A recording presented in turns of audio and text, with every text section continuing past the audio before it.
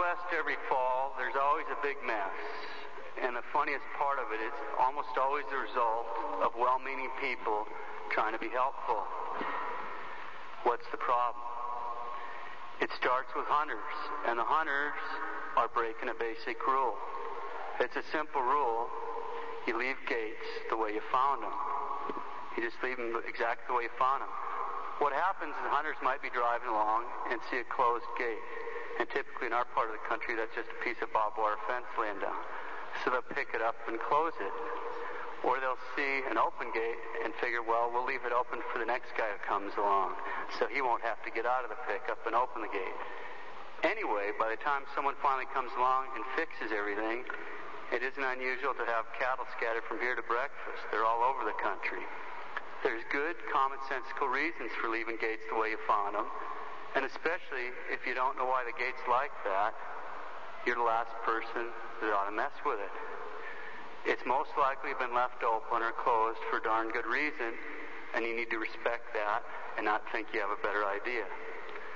So unless a guy knows that for sure that the gate was left in the wrong position by someone ahead, he's always supposed to leave the gates the way he found them.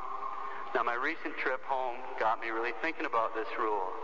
When I walked into a Catholic church in central Montana where I was supposed to baptize this little baby, and I had to look around. All I could think of was, Dad gummit, why can't they just leave gates the way they find them? Now, what am I talking about? Were there gates in the church? No, there weren't any gates at all. I said that because the architecture and arrangement of the church. What does that have to do with leaving gates the way you found them? It has everything to do with it. This principle applies more to just gates in the country. If you don't know why something is like it is, you shouldn't mess with it. It's just common sense. For example, imagine a teenager ignoring this rule with his dad's car. He decides he wants to take a real close look at the engine, so he pops open the hood. And gee, says to himself, what are all these wires and hoses and things? How am I ever going to see the engine with all this stuff in the way? So he gets out his pliers and goes to work and rips out the wiring harness and all the vacuum lines. He may indeed get a closer look at that engine, but that car isn't going to go very far anymore, is it? If you don't know why something is like it is, you shouldn't mess with it. That principle applies to customary or traditional ways of doing things and for exactly the same reasons. It applies to that church. See, the architecture when I walked in that church was totally whacked. When you look over here, Here's a lunch counter with the coffee pots in the kitchen. There's the lunch tables. Behind the lunch tables in the corner is the statue of the Blessed Mother and St. Joseph. Right next to the lunch tables is a pulpit. There's an altar. Right next to it are some big, ugly potted plants. Hidden by, behind the potted plants in a corner is a very ugly thing that's an excuse for tabernacle. And all this is filled up with folding chairs, all on the same exact level. It's absolutely and completely whacked. They totally missed the idea. What's wrong there? They have a complete misunderstanding of two basic concepts what it means to be holy and what it means to be profane. Those concepts need to be expressed in the layout of a church. First concept holiness or sanctity. Holiness means the state of purity. It means freedom from sin. It means sanctity. The basic idea is that holiness pertains to things which are set apart for and dedicated to the worship of God. They're holy persons, places, things, and times. Persons, like nuns. Places, like Catholic churches. Things, like chalices. And times, like Sundays and holy days of obligation. And their degrees of holiness Obviously, the tabernacle has a lot higher degree of holiness than the stations of the cross, even though they're both holy and dedicated to God's worship. The degrees of holiness also determine the care and reverence that we have to use when we approach these things, huh? We have to treat holy persons, places, things, and times differently and reverently because in some special way they've been given over to God. That's holiness. Second concept, profane. Profanity directly contrasts with holiness. Profane means not sacred, common, not devoted to sacred purposes, unconsecrated, secular, not pure, worldly, or unholy. Someone who profanes things is a man who either by his words, which we call profanities, or by his actions treats sacred things with irreverence. He treats sacred things as if they're ordinary or common. So holiness on the one hand means to be set aside, consecrated, and devoted to the worship of God. And profaneness means to not be sacred, to be not devoted to the worship of God, to not possess any particularly holiness, to be worldly. Now, as every Catholic knows, churches are consecrated by a bishop. That's a lengthy ceremony. It takes hours, and it sets that place totally apart for the worship of God. That means a church is some kind of holy place, and it's not just an elementary school lunchroom. Lunchrooms and coffee pots are profane. Doesn't mean they're evil, but they're profane. They're not consecrated. They're not set aside for the worship of God. And to turn, to turn a Catholic church into a place to sit around and chat and drink coffee is a profanity, to put it mildly. But even if that were fixed, the architecture was still profane. We'll just look at one point for the sake of time, although there's plenty. In a properly designed Catholic church, as I've mentioned to many of you before, whether you're in the Eastern Rite or in the Latin Rite, there are three divisions of space. The vestibule out there, the nave where y'all are sitting, and the sanctuary up here. Three divisions of space. They're all missing in that church. The kind of reverence that we Catholics are supposed to have for tradition is rooted in a profound appreciation, finally, for the fourth commandment. It's an attitude that our fathers in faith did things this way, and they know more than we do. And we realize if they do things in a certain way, it's for a darn good reason, even if we don't know what that reason was. So we leave gates the way we found them. And if every Catholic church, traditionally throughout the world, in whatever rite you're in, has those three divisions of space, there's a pretty good reason for it, even if you don't cotton on to what it might be. So what are the reasons for the three spaces in a church? Well, among other things, a Catholic church symbolizes or symbolically portrays in its architecture creation. It's reality tipped on its side or tipped flat. See, when God created everything, He created heaven, earth, and the underworld. There's three levels of reality heaven, earth, and underworld. So the whole church has just been tipped. I'm standing in what's liturgical heaven. Here on liturgical earth, liturgical underworld is a vestibule. We know that already. What does that mean for us, though, practically speaking? It means as we draw closer to God by moving from out into the world into the vestibule, our behavior has to start changing. It has to change according to where we're at. And then when we move from the vestibule into the nave, our behavior has to become more reverent. And if we're in the sanctuary, we're so close to God that we're in a totally different world.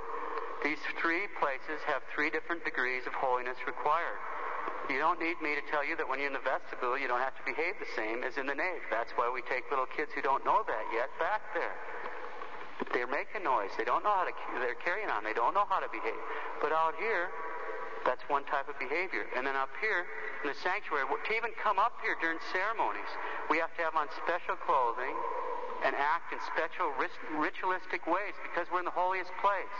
And then, of course, the priest has to have on the most specialized vestments, all of which are consecrated specifically for use at the altar, and all of which have special prayers that the priest says as he's putting them on. And then the priest has the most specialized and complicated ritualistic ways of acting. And why is that? Because when a man comes closer to God, the God who is ineffably holy, the accountability of that man increases. There's a sort of a balance or a tension we have to keep in mind when we approach God. On the one hand, God loves us with an infinite, incredible love. He's numbered every hair on our heads. He wants us to have a close and personal, loving relationship with Him. That's on the one hand, and we don't want to forget that.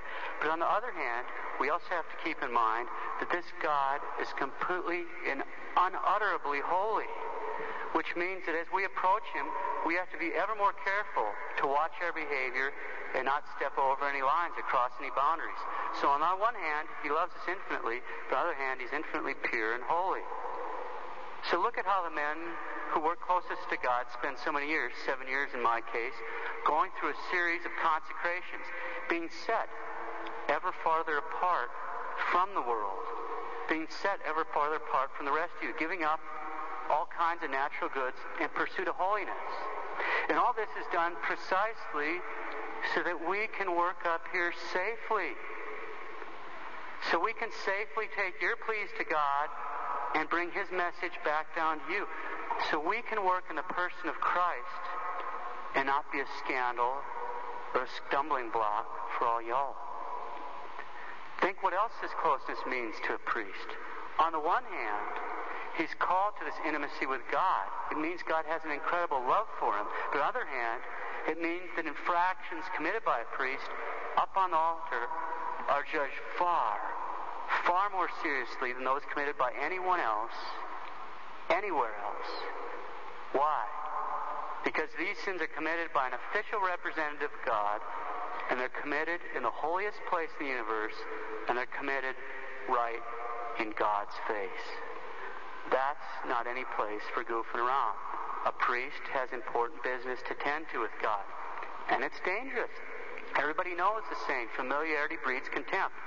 We priests spend our life amongst divine things. We of all men have to be especially careful not to treat holy things profanely. Just to give you some idea of how serious it is, the rubrics for the Mass bind me under the pain of mortal sin. That means I don't come up with any big ideas. I better just leave gates the way I found them. You may notice that before I go back in the confessional after Mass, I kneel down there for a little while. You know why? Because there's a little prayer. It's in the Missal or it's also in, in my breviary, and it's promulgated by uh, St. Pius X. It has the condition that if I say this prayer while I'm on my knees, the punishment due to my accidental infractions of the rubrics that are caused by human weakness will be remitted. The punishment due to me for my accidental infractions. Unfortunately, even though I practiced for almost a year dry masses when I was a deacon, sometimes up to four a day, I've been saying mass for coming on two years now, uh, and I really try to follow the rubrics without a mistake. And I'm not proud of it. I haven't had a flawless mass yet. It's hard to do. Anyway, priests aren't the only ones called to holiness, are they? The nave and the vestibule are still holy places that have been set apart for the worship of God. So the behavior there has to correspond to the holiness of the place we're in, or we can be just as guilty of profanity there. That's what irreverent thoughts, words, or deeds are in a Catholic church. They're profaning a holy place. And remember, what we do in here determines what goes on out in the world. This is a floodgate for graces. This is where we get everything we need to turn the world around. It flows from the altar out, and we take it out of here. So the basic problem with that little coffeehouse church is its profanity captured in architecture. Just think about it. After the fall, Adam was driven from the sanctuary of the garden, and God stationed cherubim there with flaming swords to keep him away. When Moses went up to Mount Sinai, God said if anyone else approached the sanctuary, touched the holy mountain, he'd die. In the temple, in Jerusalem, there were Levites standing there with drawn swords.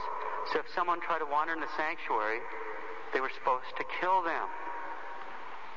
The holiness of God is so absolute that after the fall of Adam, he couldn't be safely approached.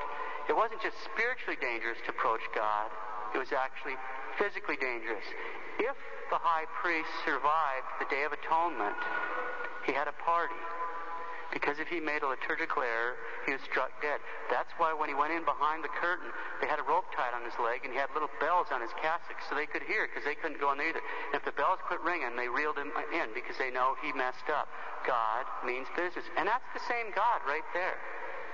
That's the same God. God never changes. So what happened? If he never changes, what's protecting us now? His only begotten Son became a man. And He's interceding for us right now and protecting us from the righteous wrath of His Father. Let's not forget, though, that when our Lord became man and He was visibly present 2,000 years ago, He hid His divinity. And it took faith, lots of faith, to believe that carpenter nailed on a cross was God the Son, the second person of the most blessed Trinity. It took faith. And now he's hidden both his divinity and his humanity under the appearances of bread and wine. And it takes faith, lots of faith, to believe that that host in the tabernacle is a body, blood, soul, and divinity of our Lord and Savior Jesus Christ. But we do believe. And since we believe, we have to express this inner belief in our outward actions. We have to express it because there's a rule. Either our actions will follow our beliefs, or our beliefs are going to follow our actions. Don't ever forget that rule. It'll keep you out of hell. Either our actions follow our beliefs, or our beliefs are going to turn around and start following our actions. So don't tell me those people believe that's God when the best they can do, the very best they can do for God Himself, is build a little ugly tabernacle and stuff Him off in the corner behind a potted plant, catty corner at the same level as a bunch of coffee pots, and then ignore Him and turn their back to Him while they're talking about cattle prices and drinking coffee. Do we believe that that's the way we're acting? No, I don't think so. I don't think so. Our Lord said, My Father's house should be a house of prayer, but you've turned it into a den of thieves. What would he say now? My Father's house should be a house of prayer, but you've turned it into a coffee shop? The Catholic Church is a holy place, and everything about it has to speak and teach holiness. It's the house of God, and it's the gate of heaven. It's the house of God, and it's the gate of heaven. Now, a few months have gone by since I was asked about the proper rubrics for faithful at high and low mass. Thanks for the prayers. I'm not Solomon. We'll take a quick look at some background information before we tackle that. For the sake of time, I'll just hit the high points. Starting around World War I, certain members of the liturgical movement concluded that there was an artificial division that had somehow developed over time between the ordained priesthood and the common priesthood of the faithful. This is an idea that flies in the face of Scripture and tradition, and it resonates very strongly with the Protestants. Anyway, ideas have consequences, and this one is certainly no exception. It's resulted, among other things, in the notion that everything and every place and everyone is equally holy. And that mistake has produced, among other things, whacked coffee house architecture for churches. So we've got the whacked idea that everything is equally holy. And then in order to close this supposed artificial division between the ordained priesthood and the priesthood of the faithful, we're led to smudge the differences and move everyone towards the middle, so to speak. What does that mean? To some degree, it means priests acting like laity, and in the Mass, especially means laity acting more like priests. The result has been an upsurge of a weird sort of clericalism, as if the only important people in church are the clerics. As Cardinal Newman said, the church would look mighty foolish without the faithful. We're not the only, we're doing this for you there's a symmetry here. We're doing it for you. You have the babies, you, you give natural life, and we bring su- supernatural life to you. It's a deal. So, I mean, there's a symmetry here. At any rate, it's this weird idea that everybody has to act very priest like. It crushes, in so many cases, the true piety and devotion of many classes, Catholics, and attempts to replace it with a strange idea that to fully participate at Mass means having a ministerial or a quasi ministerial role. This is something that Venerable Pius XII warned against. It's also resulted in insisting that everyone has to be reading a missal. Now, get me right, there's nothing wrong with a missal. It's great to read a missal. But there's nothing wrong with being illiterate either in the Catholic Church. I never heard that you had to know how to read to be a good Catholic. Most of us didn't know how to read when we were little anyway. So there's nothing wrong with the missal, but it's not absolutely essential to be keeping up with what the priest is doing. If you hit a neat place in the missal and it starts moving your spirit, sit there and think about that. That's what you can do. I have a job to do. I can't just stop and start having, you know, private devotions. You can. At any rate, there's nothing wrong with the illiterate Catholics. There's nothing wrong with rosaries or prayer books or these other devotions, as Pius XII uh, also pointed out. So that gives us a little context for discussing rubrics. First off, what are they? Rubrics are rules that we have to follow. We, meaning the priest and the servers up here. To render the official wor- worship to God in a manner that's pleasing to Him. Tells me how I'm supposed to place my hands where I'm supposed to be looking with my eyes, the volume of my voice, and so forth. Because the whole Mass is a vocal prayer. I have to say everything out loud, but as you've gathered by now, you can't hear everything I say. All that's determined by the rubrics, which apply directly to those of us up here. They also apply to clerics sitting in choir. Like when the deacon's sitting here, here's a cleric in choir. That's not a clerical choir, a liturgical choir there. Well, clerics in choir, like monks or priests or clerics, they're sitting up here, and you can pick them out because they wear choir dress. That's what all the altar boys are wearing is choir dress, a, a, a soutane or a cassock and and uh, and whatnot. At any rate, uh, rubrics uh, apply to clerics and choir, priests, and the servers. Now, the funny here's the funny part you might not know, so please listen to the whole explanation. Strictly speaking, there is no such thing as rubrics for the faithful. And why is that? because you're assisting at Mass in the nave. That's not bad. That's why you're in the nave. I'm up here working in liturgical heaven, and you're down there on liturgical earth, and I come down from the of law. Let me explain that briefly. Custom is so highly valued in the mind of the church that if it's a venerable custom, say it's lasted a century or longer, then even if it's against the law, it overrides the rubrics. I'll give you a concrete example. When you see the, the guys coming in, there's a crucifix. Carrying, you have one guy carrying the cross, and two altar boys doing it. We do that in America, but that's against the rubrics. But it would be against the law to get rid of it. It's everywhere else in the world that I know of, anyway. That's only for a bishop. Only a bishop rates a crucifix going in. But everywhere in America, it's the custom in America, and it would actually be wrong to change that because that's how we do things in America. So that's a nationwide one that we do right here within our borders. The Australians in our seminary, the Frenchmen, they've never seen this thing before, and they're all freaking out. Say, well, you're in America right now. That's how we do it here. And it would be wrong to do it the Australian way or the French way because it's in America. Anyway, custom is so highly valued that if it's a venerable custom, it has the force of law. Not knowing this can often lead to somewhat amusing situations. Uh, since I've joined the fraternity, I've worked directly under four different priests, all from another country, all of whom were very insistent that the one and only correct set of 1962 rubrics that the faithful must be used at Mass were the ones they had. But you might guess that out of the four different priests, they had four different sets of rubrics, even up at the altar. And even from a small country like theirs, that has about 160th the practicing Catholic population as ours, they still have a lot of different local customs. And that's fine. That's how the Catholic Church is. For example, the altar boys, I'm told in Lyon, do a little curtsy to the priest instead of a bow. Now that's fine in Lyon, but you're going to be looking for a new priest if any of these guys start curtsying to me. Anyway, there's an ancient principle we've all heard. St. Paul puts it, when in Rome, do as the Romans. And so after prayer and reflection, it seems to me that's the only possible principle to invoke. When in Rome, do as the Romans. Being as this is America, I've just put together, and I'm not saying it's infallible, a typical American postures for low and high mass. That's the obvious choice. There's a little handout available. It's probably pretty close to what everybody has in their hand missals. That's the, the liturgical business. Let's close with a thought from St. Francis of Assisi about holiness, about true holiness at the holy sacrifice of the Mass. St. Francis said, Man should tremble, the world should quake. All heaven should be deeply moved when the Son of God appears on the altar in the hands of the priest. So prepare yourself.